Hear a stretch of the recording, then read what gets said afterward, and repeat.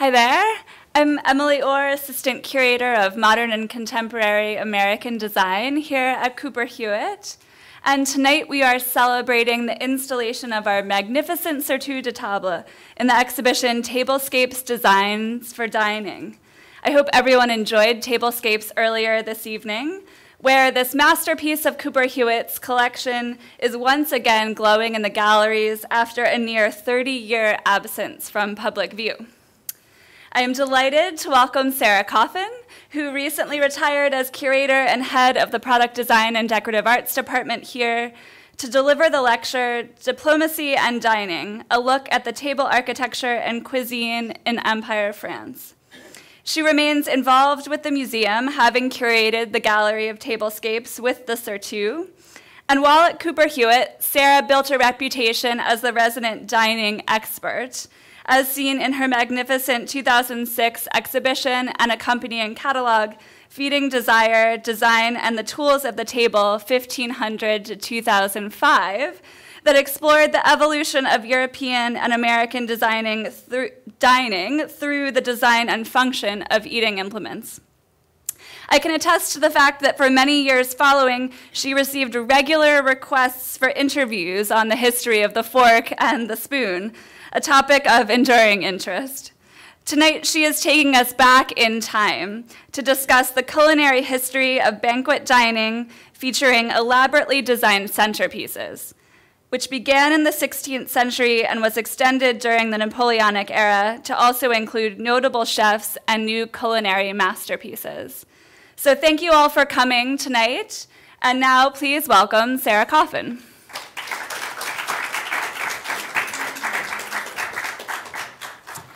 Thank you, Emily, and it's great to be uh, back here. Uh, not that I've I haven't been in the meantime, as you can see from the exhibition, but also wonderful to have my great colleagues Emily and Cindy Trope uh, here uh, tonight.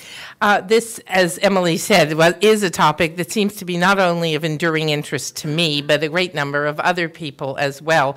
And I do think that um, my door being generally open in the office, that uh, Emily and Cindy probably had a good course in uh, all sorts of things that would come my way about how, when did this start and when did that. So, um, but this is a little bit of a case of really having worked on the topic for a while, finding that the intersection of architecture and the table is very significant and one that is perceived to be in the field of uh, architecture. Uh, and the point being that as with uh, both the implements, which were often given, people traveled with them, status of symbol, symbols of status.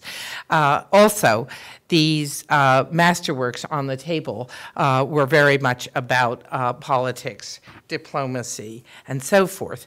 Uh, while I intend to speak primarily of the diplomatic connections of diplomacy, cuisine, and architecture of the table in Napoleonic France, the subject of table architecture must start quite a bit earlier. The connections between dining in the era of Louis XIV and the late 17th century and that of Eugène de Beauharnais and his famous father in law, Napoleon I, are very strong.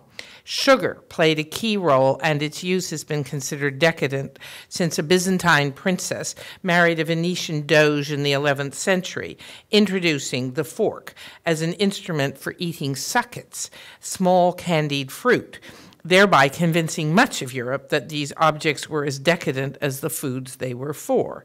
While luxury, sugar as a luxury item has been part of culinary history, since medieval times, it was oddly that it was in post guillotine Paris that the cake reached its artistic heights, despite the fact that Marie Antoinette may have lost her head for her remark, real or apocryphal, let them eat cake. While the petit pâtisseur, most not notably architecturally inclined Marie-Antoine Carême, to whom we will come back, made his fame on pièces montées, uh, which are essentially sculptures, usually in sugar, but uh, arranged in an architectural form. Early actual architects were doing the thing with sugar, same thing with sugar uh, sculptures for the table.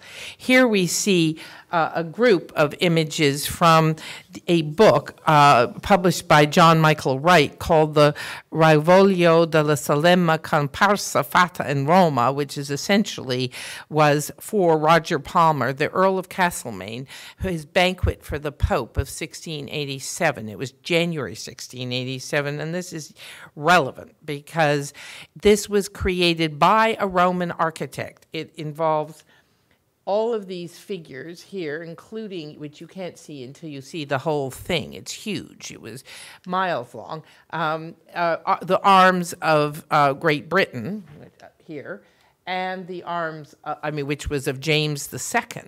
And this was the point. This was a, a, a banquet. Now, banquets in the 17th century and actually somewhat before meant uh, dessert banquets. You were invited. Why? Because what was the most expensive thing? Sugar. So you entertain on a lavish scale, and the banquets uh, would have all these sculptures. And in fact, here they showed their high level because they had they also had the napkins sculpted like waves and boats and things. Uh, the ceiling in the room that was used for this banquet was designed by uh, Pietro da Cortona, an eminent uh, painter. And um, and Bernini, among others, did contribute such sculptures. He didn't do this one, but uh, somebody who had worked in his uh, uh, his uh, office, shall we say, uh, did. And uh, the point was that this was the ambassador from the court of James II. James II, they were celebrating the nominal return of Catholicism to England in 1685 when James II came to power. Uh, uh, Roger Palmer got the position in 1686, and it took him almost a year to organize this fabulous extravaganza for his entree, his arrival in Rome. And here you see, I'm sorry, I forgot to flip. Here you see the, Palazzo, uh, the Piazza Navona, and what with Bernini sculpt and others sculptures that form this decor de théâtre in the middle, very much is what they were recreating on the table. They were trying to do the similar sort of display for the table that was uh, on the in in the piazza.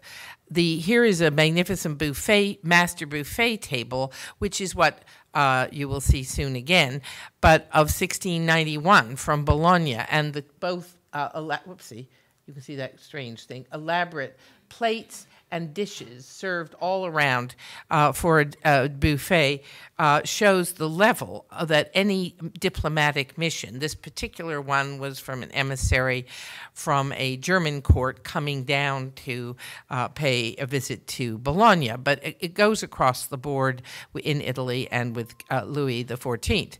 Here again is this very odd arrangement of, um, of figures in icicles all sculpted in sugar with various objects like wine glasses and so forth. And this is really the wine table. You can see the glasses here. Um, so in this case, it's not about food, but you are about tasting and testing different wines, which were apparently perhaps being kept cool or something. The some the glasses or the urns that held them.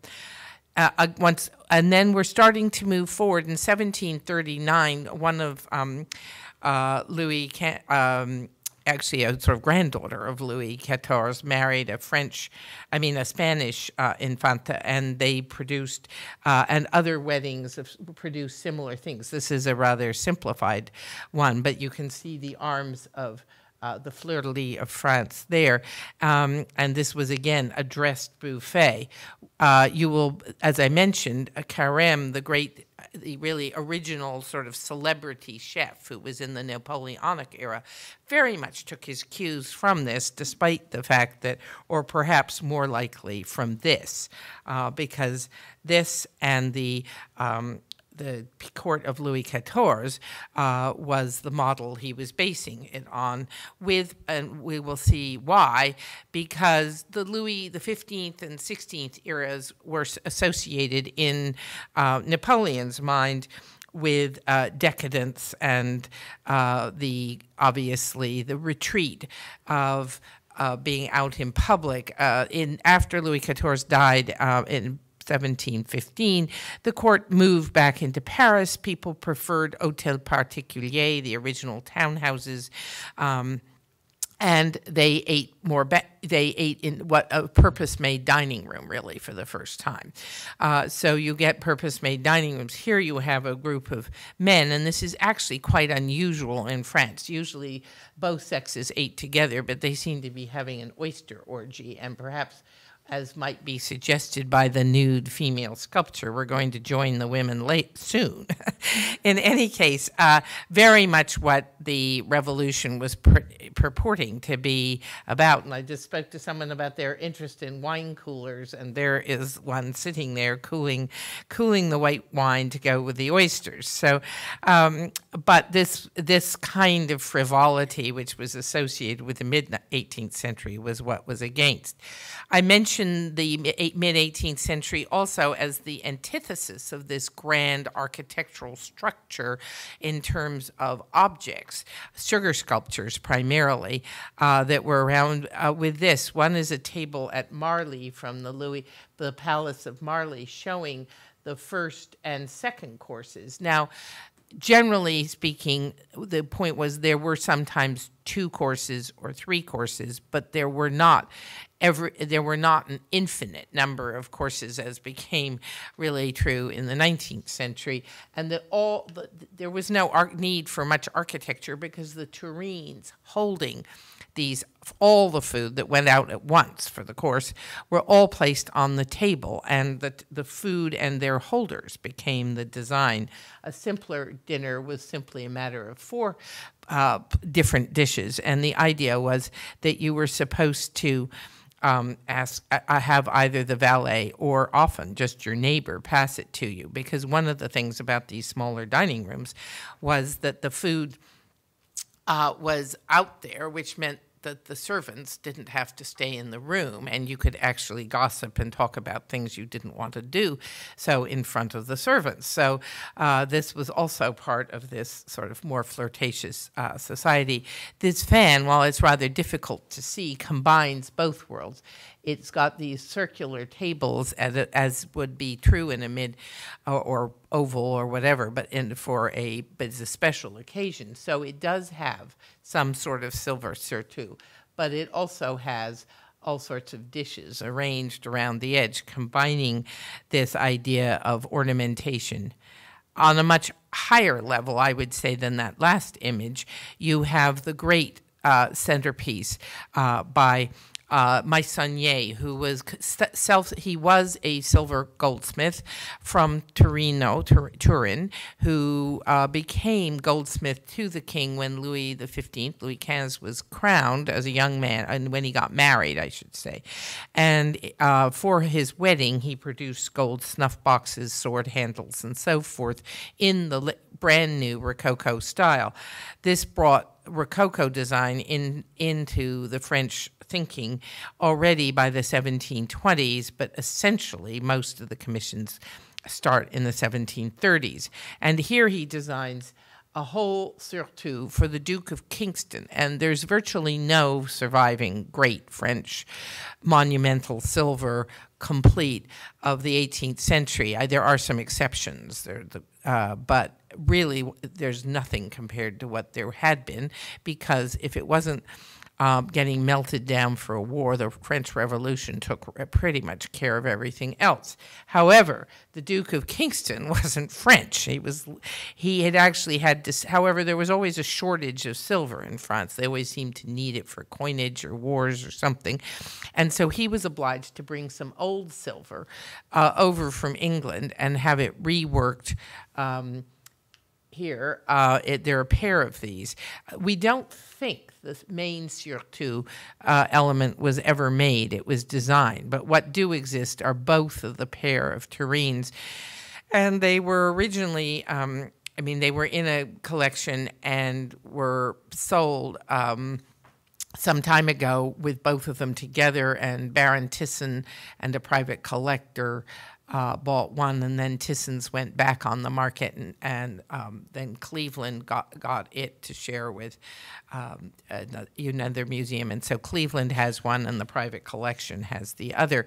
But so they're at least everybody knows where both of them are, and uh, uh, but they are incredible works where he actually models the the crustacea, the lobsters for the lo- the a, a is a sort of stew, and one of them was obviously supposed to be a seafood one, and the other one has things like parsnips and game on the top of it, and that was obviously for game stew.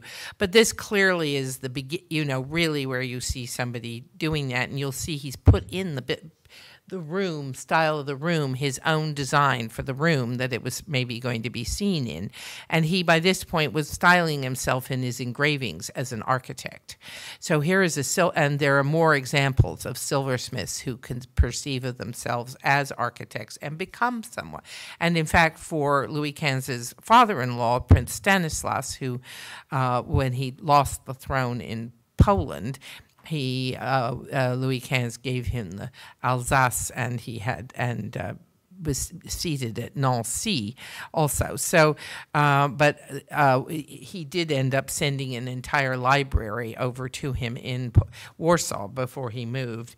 Um, and so uh, this kind of commission would have been more common, I think, had they had the silver. This, ironically, this whole set, the pair, went to Russia when the Duke of Kingston became uh, the ambassador Britain to Mos- Moscow, and, I mean St. Petersburg, and then um, came back to his wife. They he and his wife divorced. She kept the silver, and um, eventually it found its way back to Paris. So we think happily was out of uh, Russia when the Russian Revolution came took place. But now you can see a bit better the the crustacea and the game here uh, uh, from these uh, from this set. As I mentioned, these the setting was very much uh, more uh, of the of this sort of uh, sort of private nature. You will see this group gathered around a candlelit table, dogs in the room, um, looking rather like ours, asking for, something at the table. Uh, anyway, and that, but they still maintained this idea of the head table, the the the honored guest and presumably the Prince uh, Louis Francois de Conti um, up there at the head table. They only sit on one side of the table, which gives you lots of opportunities to have display. But these were smaller tables, and they didn't have that much room. What is important is you will note that in an, a uh, dinner of some significance, the people are sitting in candlelight. Candles were very expensive, and more so the crystal, the uh, the cut glass uh, crystal like uh, chandeliers and the candlesticks, but you will also notice this golden color. And generally speaking, when they refer to the white service, it is indeed for having the principal meal in the early afternoon or in daylight, and the tendency to have things gilded, usually silver gilt, uh, in the evening to create part of this golden light uh, in the evening was what uh, luxury would do.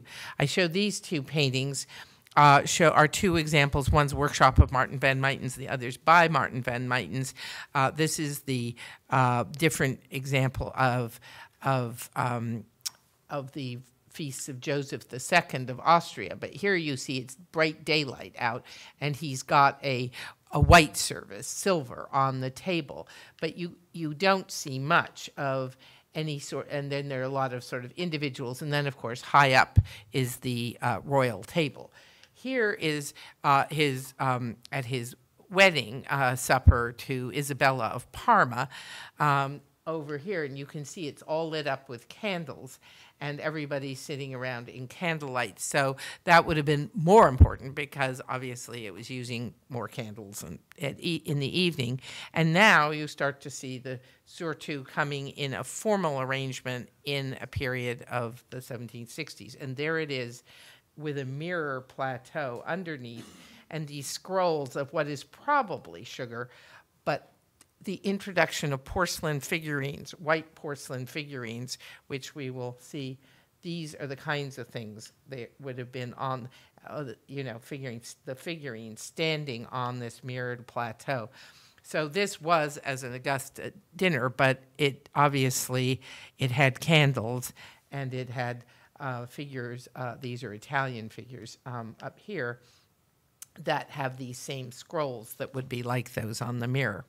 Uh, but that leads us in now we're into the louis Seize period and we discover we're back in rome um, and italy still having remember that it hasn't been that long that um, really italy was the source of the great cuisine, and France was uh, learning. I mean, they were certainly getting it sourced from Catherine de' Medici and Henry II, who went to Italy, and so forth. And but regardless, it being the province of the architects for tables there, certainly. Here are two Italian examples of table designs.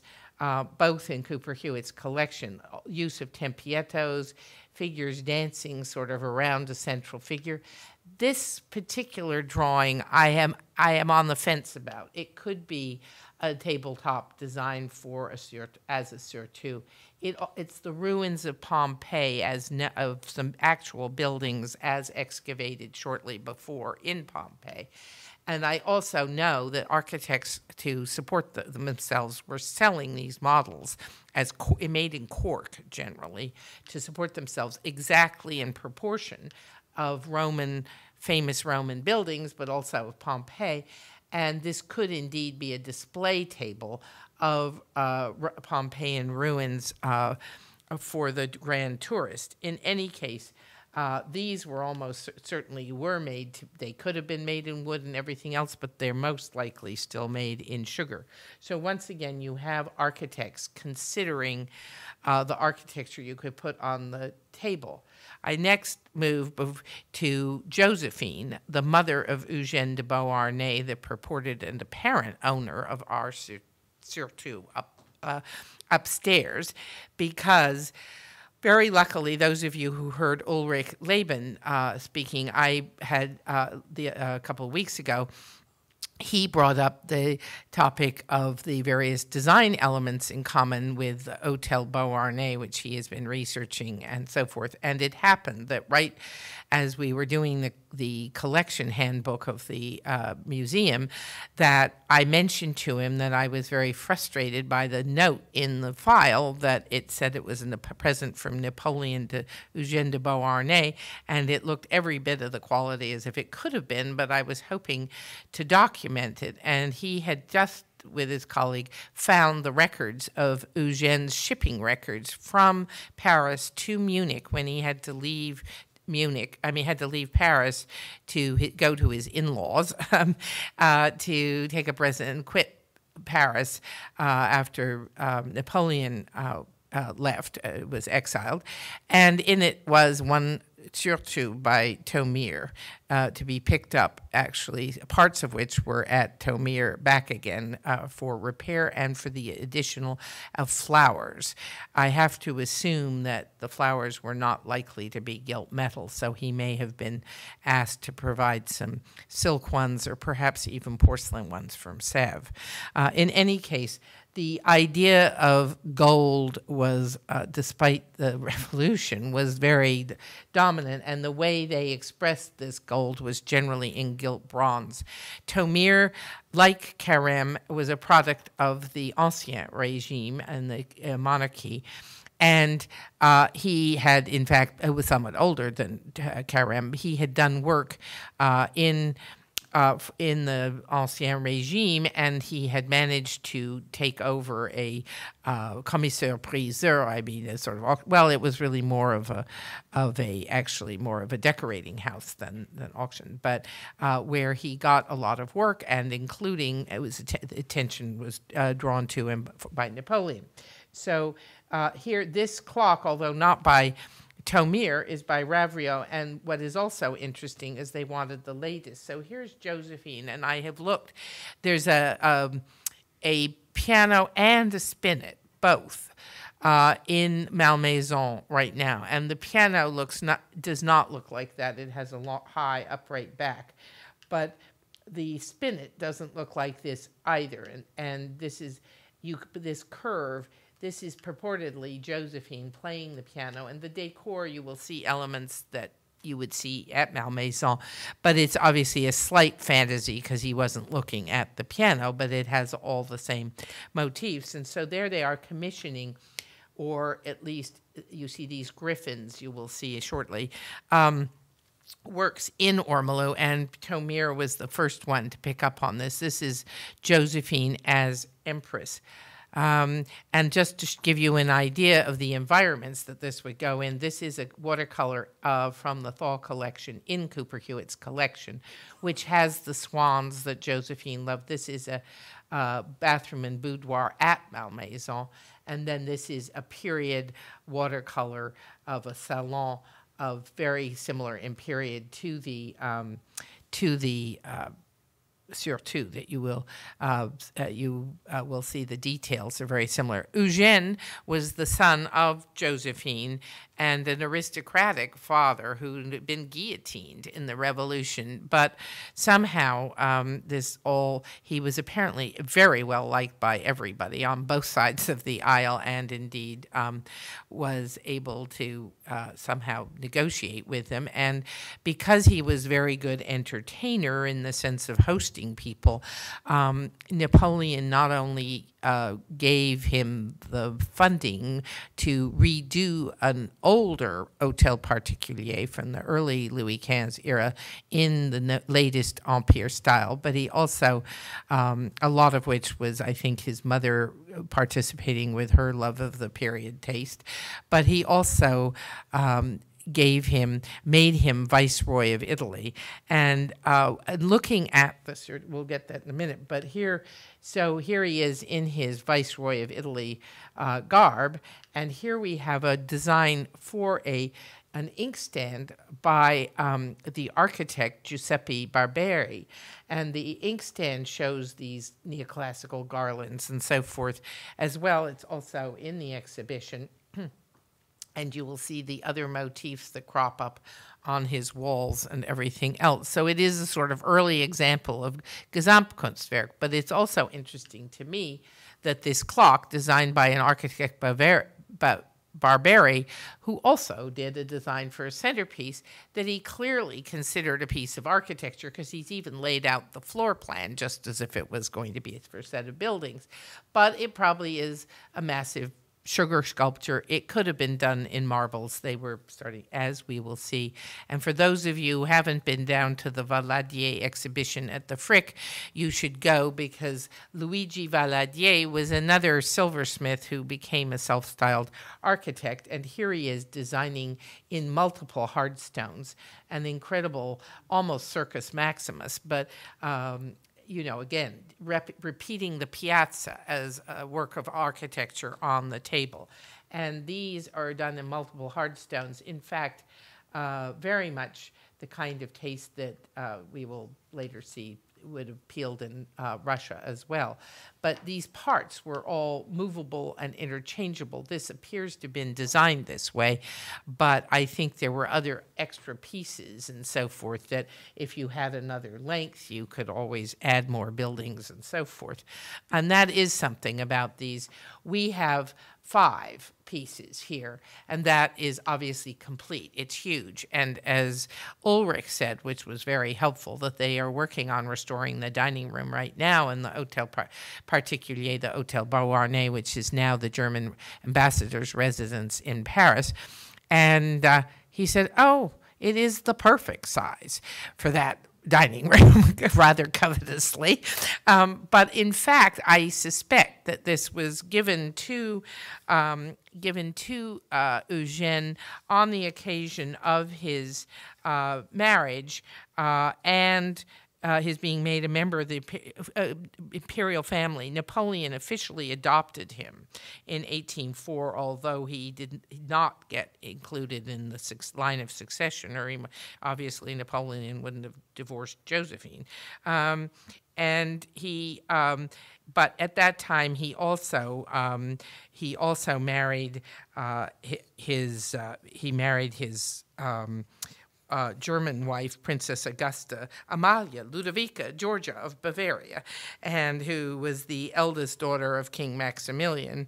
uh, which is why Eugene moved to Bavaria, uh, and where his father-in-law later made him Duke of Leuchtenberg and Prince of Eichstätt. So, um, as I said, he was able to be very sociable, and Napoleon gave him the Hotel Beauharnais money so that Eugene would entertain for him.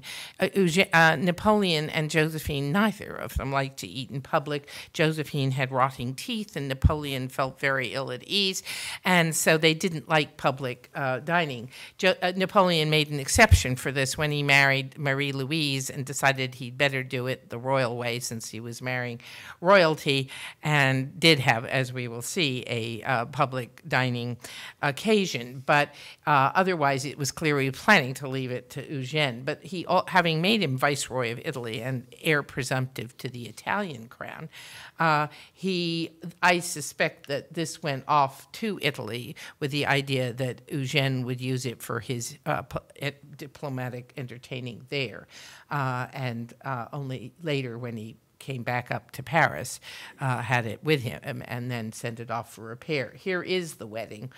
Uh, that was painted in 1812, but the wedding was in 1809 or uh, 10. And you can see there it is. There's one piece. You see they've been separated because they're having to sit at this horseshoe shape. But you've got one, two, three pieces there, and then more going around here. Uh, can similar candelabra these sort of oil lamps at the end, and everybody is arrayed uh, in style, facing out at the audience of the of the nobles and politically elite who would have uh, been there. Uh, details to show you again that these artistic considerations are important, but it's also a sort of a Beauharnais style that you get with these swans. This is a wall covering from the collection, swans, and then you have these, these are actually bacchanal figures. This is grapes all around. So this is presumably something that would have held a bunch of grapes in the middle, but it does suggest the wine. I mean, I don't think it was used to hold anything related to wine, but uh, dancing around with the grapes in their hair, and but it is the idea of the three graces, which was actually purchased by Eugène de Beauharnais, and uh, of course his um, his uh, sort of in-law, I should say, Pauline Bonaparte uh, became the Duchess of Parma. Here you again have the swans here, the swans there. This is already out in Tournai, which is now in Belgium. But to show you the impact of this incredible work, my feeling is that Thomire, working for the imperial household, was taking his cues directly from Percier and Fontaine, who did design Malmaison's interiors for Josephine, and he would have been using uh, this famous architect's uh, the, the famous architect's designs uh, for the table and then executing. You will see the motifs in the Hotel Beauharnais here on the furniture, on the woodwork, and it all matches up again with uh, this is probably a dado railing, so it would have been there, not in the house, but just again these motifs that he picks up from Percier, and Fontaine. And then I just want to flip through a couple more. That's actually an Italian drawing with again with a basket and the same griffins a dancing figure for a furniture mount, and a lot of other uh, examples of these from the mounts collection of furniture mounts. And what was their point was, of course, to reflect light. And you, this is therefore with the idea that again you're thinking about the dining room for evening use, which was a lot more expensive. Uh, but this giant pair with again by Thomire with both gilding and bronzing. Uh, again, whoopsie, get to fast a little fast. Um, so um, this is a chair in the collection, and this kind of motif actually had, you know, the this is of the period. There may be a connection to Napoleon, but you will see the furniture in the Hotel Beauharnais uh, the Hotel Beauharnais furniture and can easily visualize having it, again, being celebrating Napoleon, which he would have done too as his diplomat. The Sèvres porcelain was advancing with new techniques, hard paste porcelain and porcelain that would um, this is actually the factory showing off that they're showing off the scientific nature, new colors and new wares. And here we get to our man, Marie Antoine, or otherwise known as Antonine Carême, who was a real entrepreneur. Um, he, uh, he his famous saying is the fine arts are five in number, namely painting, sculpture, poetry, music, and architecture. The principal branch of this being pastry. So here he is. He thinks of architecture as that he can do architecture and pastry. And indeed, that's what he does. These great pièces montées. Here you have a sort of pyramid of cakes and things. And these are, this is from what his earliest book on pastry, uh, the picturesque paste, pastry maker, and he's actually done sort of chinoiserie and um, rustic and uh, all the rest of it uh, loaded in in 1816. But uh, there, in 1802, a Parisian lawyer turned restaurant critic, and there's another new thing that's going on in Napoleonic France, is the creation of the restaurant, because of course, not every you know uh, there were there were far fewer of the aristocracy hiring cooks at home, and more people actually uh, eating somewhere in a more public place. But in 1802, the Parisian lawyer turned restaurant critic Grimod de la Reynière professed that cuisine is linked to nearly all branches of human knowledge.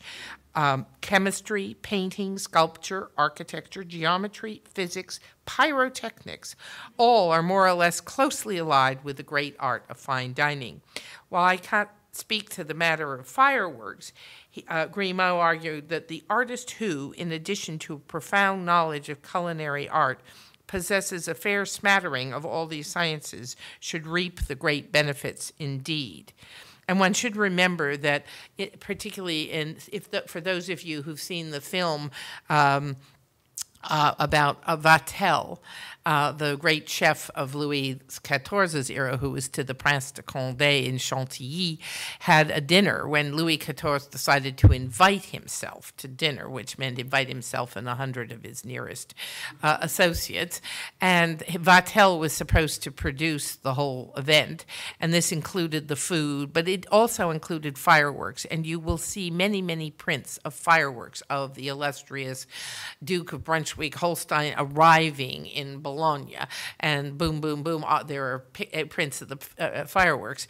Well, likewise, it was up to Vatel to produce the fireworks as all as well as all the accommodations and the feed, feed for both the staff of and the the um, VIPs who came.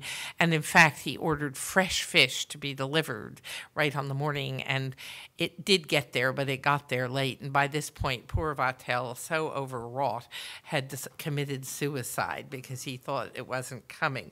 So it's it's it, it it makes a great movie, but it sounds more like a movie, but it was real life. So. Carême came from very humble origins, but rose um, in the uh, revolutionary in the first decade of the 19th century to produce these fantastic meals, and he also um, had a very he but he was a traditionalist. He he whoopsie.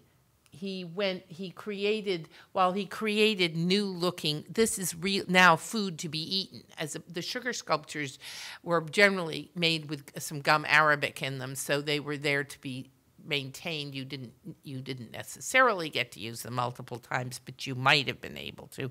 Of course a porcelain figurine is much more uh, useful. It may be expensive to get in the first place but you can keep uh, rearranging them and doing different things. So uh, here is Carême who had in addition to creating magnificent sculptures and uh, in sugar was also actually creating them with new foods with lighter pastes and like macaroons and things. And here you see as a comparison, though, he's making his displays of cakes essentially resemble the traditional 17th and 18th and now 19th century uh, displays as opposed to uh, you know more modern uh, display. But he is he is innovative in his cooking, and he um, uh, does that, uh, you know, to with great fanfare to the point where it was so good. He was a modernizer, and he he classified French sauces into the four groups that remain known today, and um, uh, and Escoffier would build on, but uh, his architecture was traditional. He also wrote many books, which is one reason we know so much about him. Um, but he he prided himself on being the architect of food. Uh, he his great cooking came into play when um, these two, uh, with these two gentlemen here, uh, after the um, fall of Napoleon in uh, and his exile in 1814, um, uh, Tsar Alexander marched into. Do we have that slide? No. Uh, I think it's the next one. Here he is, marching into Paris victorious in March 1814. And um, this is Talleyrand's townhouse. Well, the Elysee Palace had had something wrong. I think there'd been a protest or something in it. And so Talleyrand invited um, uh, Tsar Alexander to come stay with him in his townhouse. He had already employed pretty much uh, extensively at Valençay, his house in the Loire Valley, uh, Carême to cook for him, not exclusively, but uh, anytime there was any diplomatic dinner. And in fact, Napoleon paid for uh, Talleyrand once Eugène de Beauharnais had gone off to Italy. He paid for Valençay so that Talleyrand, who was again an aristocrat himself, who managed to find favor with Napoleon, uh, partly for trying to, but he played both sides of the aisle. So he had this great chef. Well, Tsar Alexander gets there and he's got the royal forces on one floor with pleading to have Louis the 18th, Louis XVIII, installed, and the Napoleonic uh, uh, requesters asking for the uh, reinstatement of Napoleon on another floor. And he said, But I have to eat first, so let's have dinner. And he, obviously, everybody's worrying about what's going to happen. Well, in fact, he had everybody at the table. And then he realized he was going to have to make a toast. So what did he do? He raised his glass to Carême.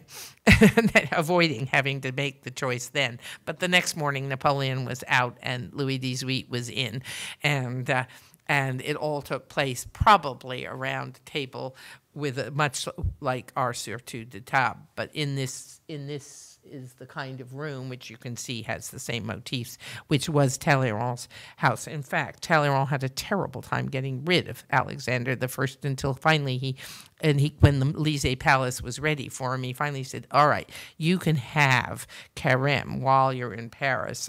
And then he moved, um, and then in fact he invited Carême to come to Russia, and Carême went to Russia, but Alexander the First was off on a campaign and by the time uh, he got back, uh, uh, Carême felt he had been ill treated by his staff and left, uh, but he went many places. Here, in fact, is another interesting detail: was that Alexander I was much smitten with Josephine at Mal and met her at Malmaison, but he he uh, and she with him, and they had and he wrote that he could have real conversations, much as with a man, but it was so such a significant um, interest that she actually gave him this extraordinary agate cameo, which was known as the Gonzaga cameo.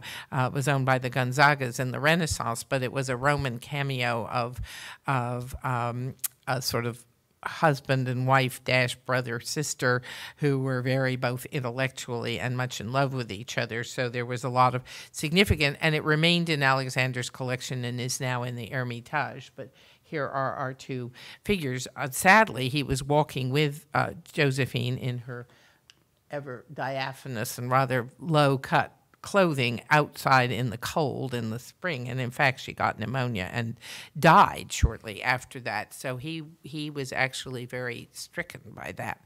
But he would have returned again i suspect this is the kind of centerpiece. In fact i thought this might have even been a, a russian design because of the nature of the pink which is rhodonite perhaps and the green which could have been malachite for uh, for Russia, and there was a note in the file that said that it had a Russian inscription. Well, we looked and it doesn't, and I suspect, therefore, it is an Italian Roman design. But uh, it could, it was the kind that, again, one, two, three, four, five. You've got similar uh, figures. This tempietto with figures on it mixed Ormolu, uh, very much again an architectural statement. Another view of the two two different Val- uh. But here's a man who was a silversmith who again really became an architect um, and then created these works of architectural space. And then just to um, end on, I wanted to show you this. Uh, design drawing from again the 1785 to 1805, which uh, you can see these groupings, much like the ones with the stones and these swags, and so many of the motifs, but the, again, very like the um, Valadier arrangements as well as the the one we saw on the hard stones. So, you're a lot. The idea that that Eugène was down there seeing these uh, Roman versions. Um, they had this great architect Percier and Percier and Fontaine who were producing designs for Thomire, and Thomire commanding uh, the attention of, of uh, Napoleon, this wonderful object that uh, appears to have been really been the present for the wedding, his adoption, and everything else that all, and being made viceroy of uh, Italy, all of which happened at the same time, uh, undoubtedly was the source of this commission. And based on it and the dates of the other known Thomire, surtout, there are most of them all later, 1810 to 14. And so this really is another reason to think that this is much crisper, this one in its detailing, to think that this one upstairs is an early one and does show the uh, connection of Napoleon wanting to make the connection to Rome uh, politically, of obviously planning, putting most of his family in charge of Italy, and uh, using it for all the political power that imperial Rome uh, meant to him. So there's a great statement of, of that, and at the same time of having a chef who is um, who is creating the extraordinary arrangements of food that are supposed to accompany this. Uh, most of the Italian ones you notice don't show them actually holding food, uh, but the the French ones do appear to be made for holding, what, be it decorative food or sweets, going back to the concept of um, architecture. So uh, Carême took Roman architecture and that of Palladio, and, and who he re referenced. He actually went and studied in the Bibliothèque Nationale. He studied architecture before making these arrangements of food. So this was not coincidental. And the food was displayed as architecture, but the ingredients were innovative. And to that, we have this confluence of Talleyrand, Tsar Alexander I, Napoleon, uh, and um, uh, many others uh, in power, including in Vienna, and uh, George IV, who had Carême come to cook with, for him, and their table arrangements show the impact of this extraordinary moment when everybody came together in Paris and created a style. So thank you very much. I hope if any of you have questions that I've left some a little time for questions, and, and um, feel free to ask.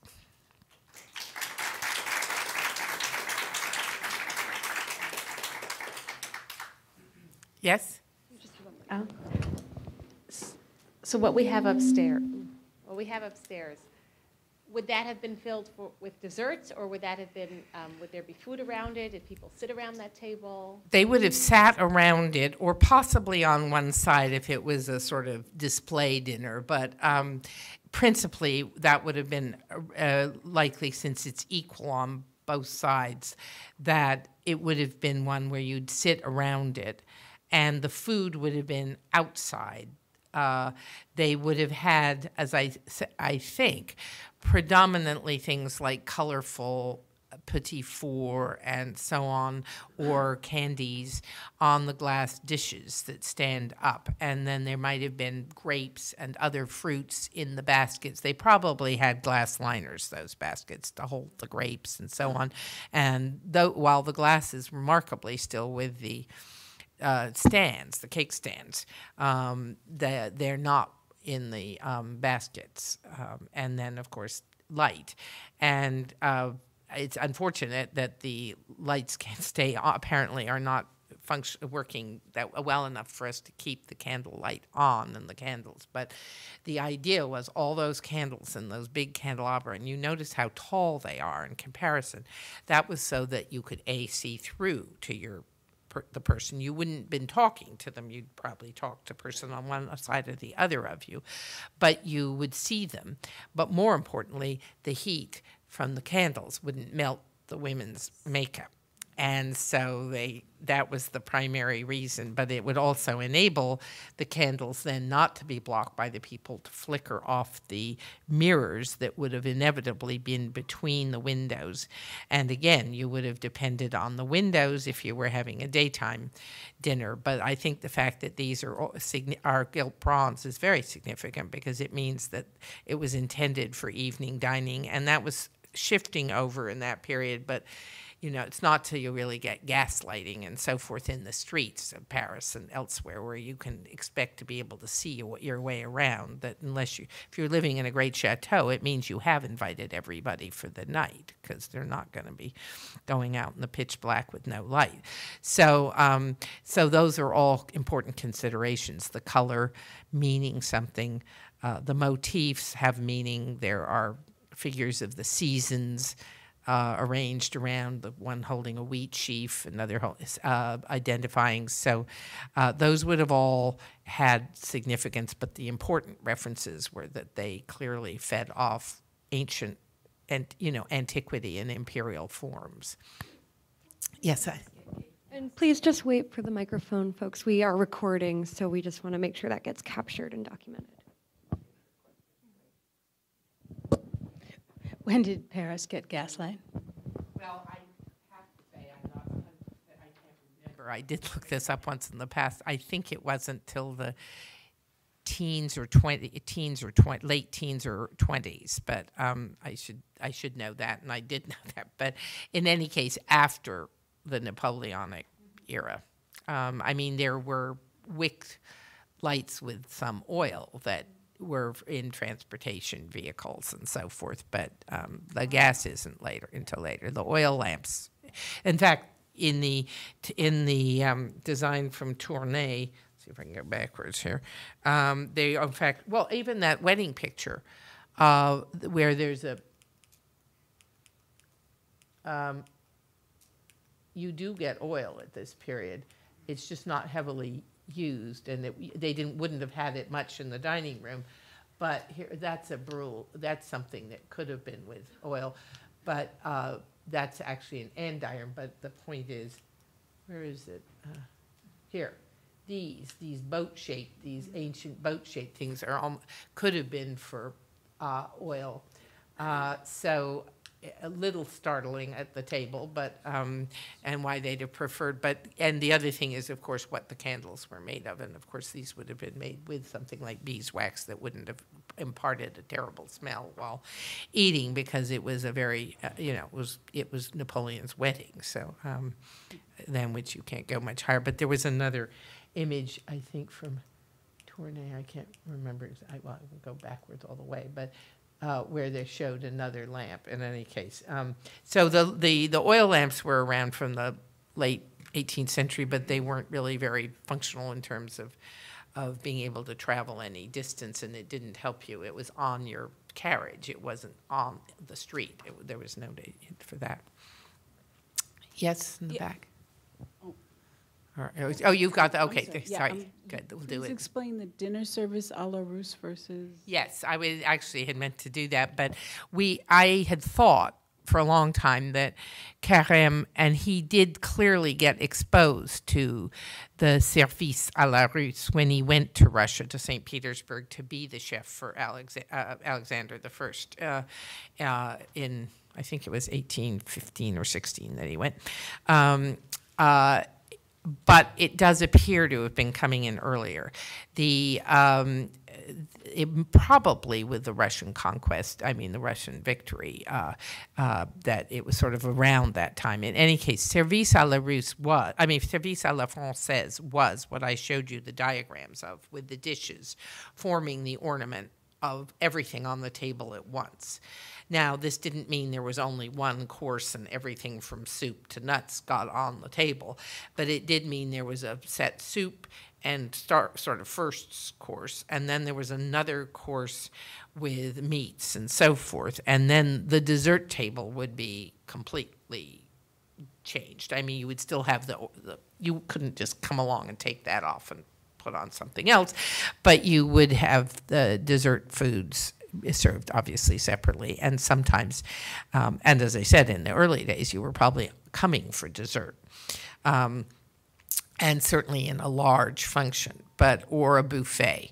I mean, it was very much a, a, lot of royal functions were, I mean, where it was a wedding where they had to invite a lot of people, and then those people would be served in buffet, and maybe the marrying couple and their immediate relatives would sit at the high table. Um, service à la Russe was the idea of sequential serving of courses, and as I mentioned, they were along with the term uh, bistrot, which comes from the Russian uh, soldiers in Paris at this time with Alexander I, who were going that they wanted to eat quickly, and they were coming in and saying in Russian "bystra, bystra," which means fast, fast, and it turned into bistro. Um, that the idea of uh, types of restaurants, um, and of course, it wasn't expected that the sort of gentry were going to be predominantly eating there. It was going to be travelers and the soldiers and so on. So this is the association with bistro with being separate from haute cuisine. Um, but the there for a long time, you know, Talleyrand. I mean. Uh, Carême was a great proponent. He, I think, he represented to Napoleon again. It's the political power of the statement, and he represented what was now really firmly with his talents fixed that French cuisine was the ruler in cuisine and traditional French display was going to win the and his cooking uh, was going to be win the day. In other words, France had a really exportable commodity in its cooking, and also a, a position of power. And so Carême was still doing things like the Ancien regime, despite the fact he was hired by old and new, and quickly flipped over to being able to cook for Louis XVIII's general entourage. But he was not clearly politically he was more liberal than uh, and uh, was more socially minded, about, even though the, clearly the type of cooking he liked to do was for the higher up. So, so the as I said, there are changes, of course, with the service à la française, but the uh, the difference is that you don't.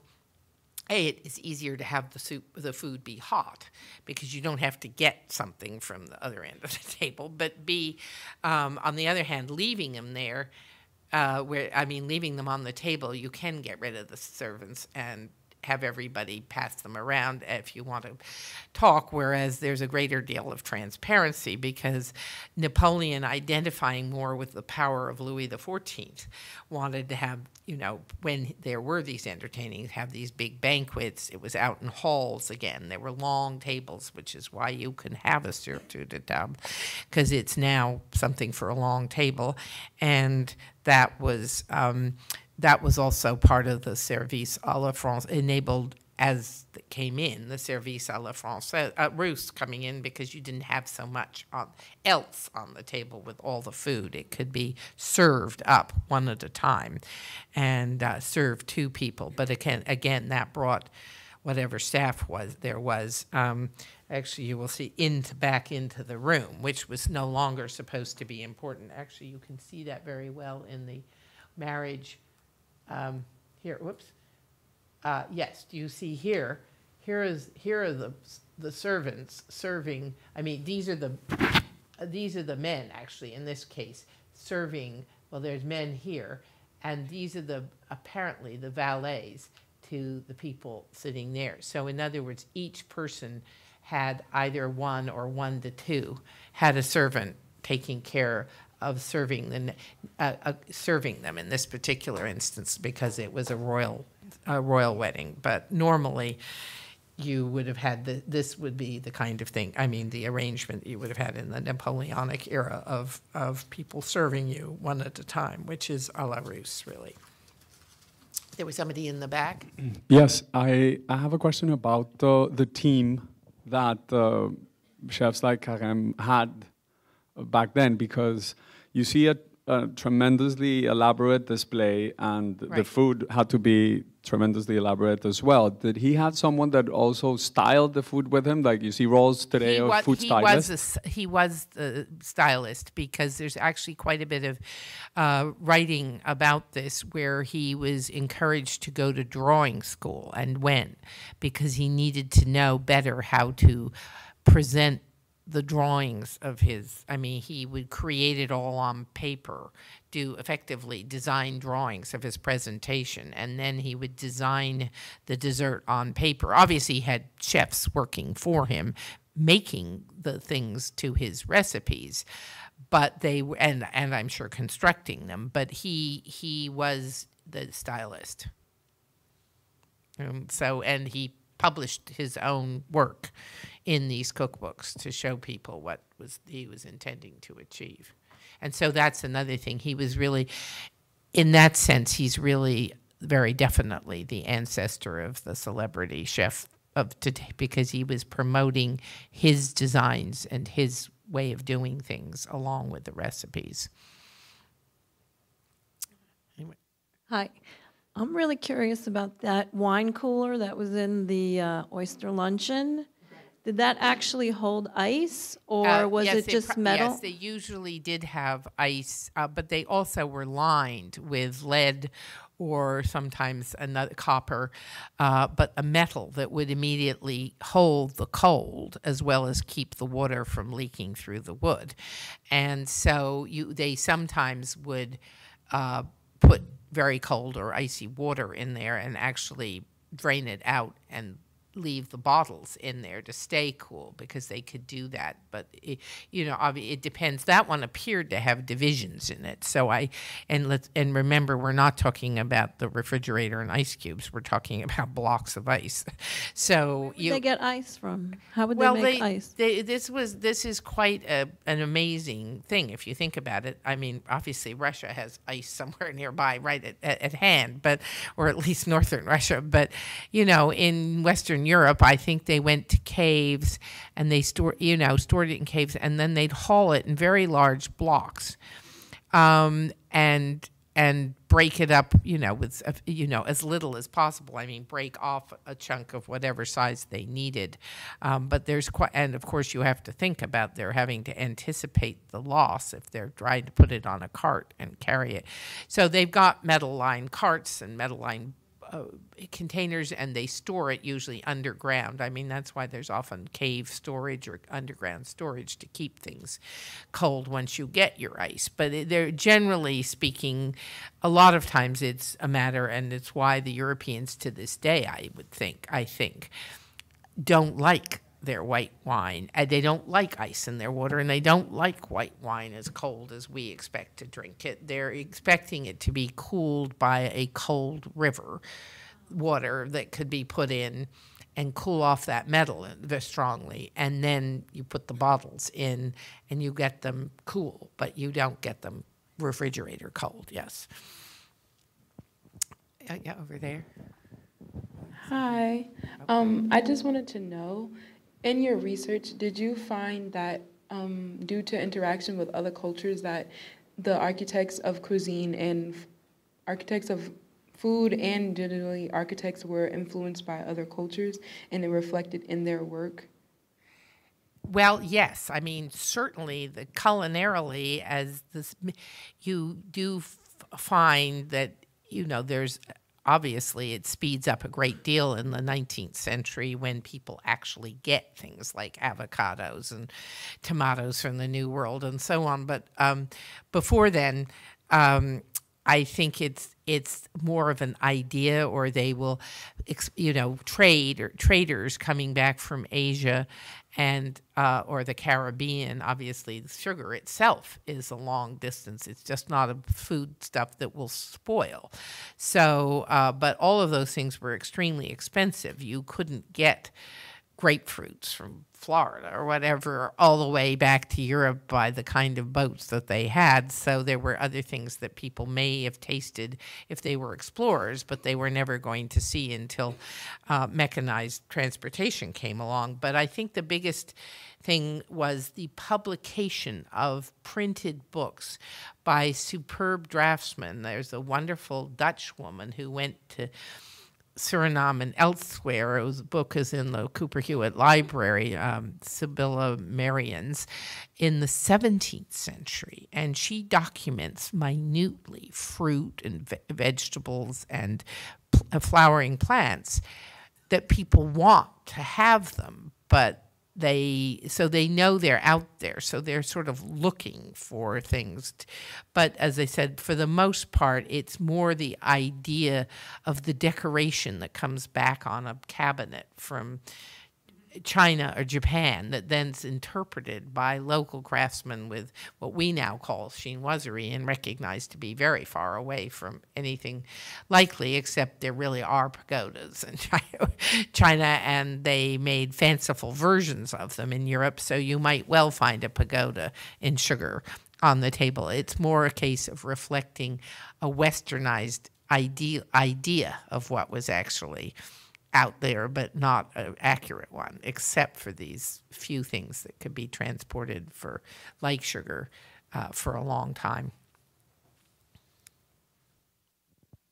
Hi, I just wondered, um, thinking about the earlier sugar paste centerpieces of the dessert, the, the dessert course, would the dessert course have been served in a separate room or would it have been on a separate table in the early? Usually, I think that they were in also in this, the desserts were arranged sometimes in a buffet separately on as we saw with that wine one and the master buffet but many times also as sort of available in dishes on the table that were separate from the surtout de table which you weren't going to reach out and disturb that was decorative but it may have been the same foods available on the table, but also on the buffet table. And another thing that is interesting to connect back to our friend, the Byzantine princess, is that in fact, the first forks that really come into use in particularly in northern Europe were these small ones and the point was that you were bringing them for yourself. So when somebody had a service made, it was for serving at a banquet of desserts. So the forks are very little, and with the exception of meat, I'm not talking about meat serving forks, but I'm talking about individual forks that you might put into your mouth, and and uh, so they were perceived as being elegant accessories to a dessert um, before they got actually used for meat and so forth. Um, any other questions? In the front here, and then maybe we'll.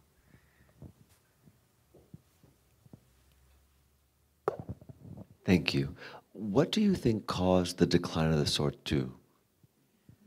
I, well, things. that things. Uh, I think I think in some ways, believe me, having looked just been in the Hofburg sto- storerooms in Vienna, I can tell you that there was no decline in the surtout in the 19th century in Vienna. I've never seen so many surtout of various periods, ranging from one by Thomire, or maybe it's several, that had about eight, 12 mirror parts and could be arranged in multiple different rooms of different sizes. Um, but they went on, there were some of gilt bronze, certainly from the Napoleon, I mean, the mid 19th century and even the 1880s. So um, I think what happened is, though, again, you have different sizes and shapes of dining table coming back into fashion. A lot of the Napoleon III era and the um, Franz Josef era was often round tables and so forth, then you might have one single element.